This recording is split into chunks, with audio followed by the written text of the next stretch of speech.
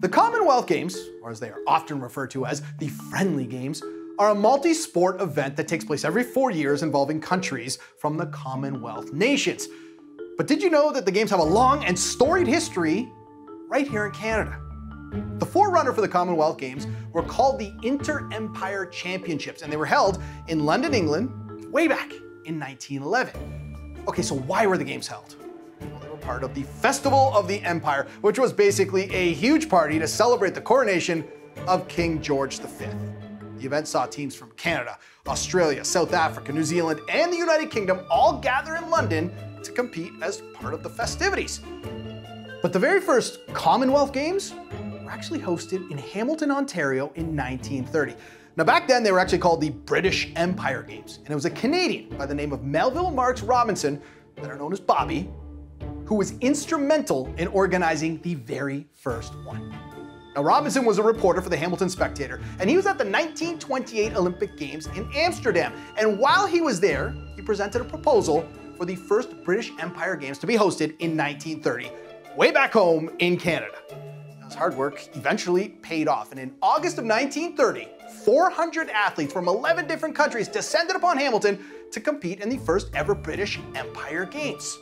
The Games would stop in London in 1934, in Sydney in 1938, and New Zealand in 1950. And after going on hiatus during the Second World War, they would return to Canada in 1954 with Vancouver, BC playing host.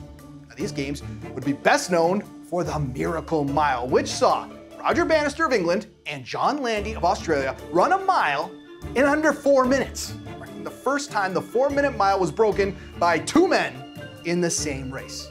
Now, the 1954 Games were significant for another reason as well.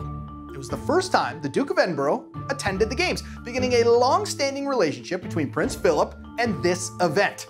He became the president of the Commonwealth Games just a year later. Now, the next time Canada would host the Games would be in 1978 in Edmonton, Alberta, and it was another royal moment that stole the show. Edmonton would be the first Games that were formally opened by Her Majesty, the Queen herself marked Canada's best ever finish at the Commonwealth Games as well as they finished atop the medal table with 45 golds and 109 medals in total. However, their highest ever single medal count came in 1994 when the Games were hosted in Victoria, BC. They finished with a total of 129 medals, which was good enough for second in the overall medal count. Now, the Games of Victoria were significant for another reason as well.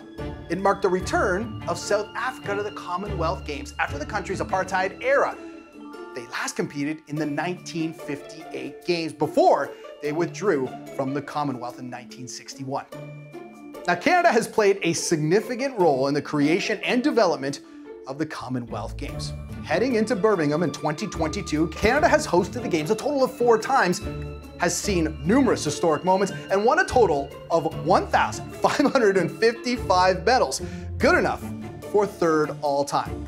And this whole story may come full circle. With the 100 year anniversary on the horizon of the first ever British Empire Games, the city of Hamilton is hoping to once again play host to the historic event in 2030. Organizers are looking to continue that legacy of the first ever games and continue the connection between this global event and Canada.